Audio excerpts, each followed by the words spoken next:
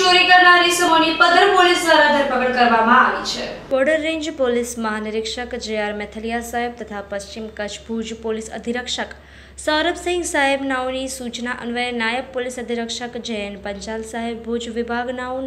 માર્ગદર્શન હેઠળ મિલકત સંબંધી ગુનાહોનું ડિટેક્ટ કરવા માટે સૂચન આપેલ છે. અનુસંધાને Paddhar police station, SR Jadeja, police inspector તથા સ્ટાફના માણસો પોલીસ સ્ટેશન વિસ્તારમાં પેટ્રોલિંગ પર હતા ત્યારે police head constable Prithvirajsinh Batuksinh રાણાઓને ખાનગી રાહે બાતમી હકીકતના આધારે Paddhar police station part A ગુના નંબર સાતસો પંચોતેર ઓબ્લિક બે હજાર વીસ આઈજીપી કલમ ત્રણસો ઓગણ્યાએંસી, ચારસો સડતાલીસ, એકસો ચૌદ મુજબના ગુનાની ચોરી કરનાર ચોરને પકડવા માટે તથા ગુના કામે અટક હાથ ધરવામાં આવી હતી. તેમજ તપાસ દરમિયાન ચોરીમાં થયેલ મુદ્દામાલ પણ રિકવર કરવામાં આવ્યો હતો. આરોપી તરીકે આદમશાહ કાશમશાહ કાશમ શાહ ઉમરાણી, ઇકબાલ શાહ, ઇબ્રાહીમ શાહ બાનાણીની ધરપકડ કરવામાં આવી છે અને રિકવર મુદ્દામાલમાં બેટરી નંગ ચાર જેની કિંમત રૂપિયા છ હજાર રાખવામાં આવી છે તથા ત્રણસો સ્ક્વેર એમએમ ત્રણ પોઈન્ટ પાંચ કોર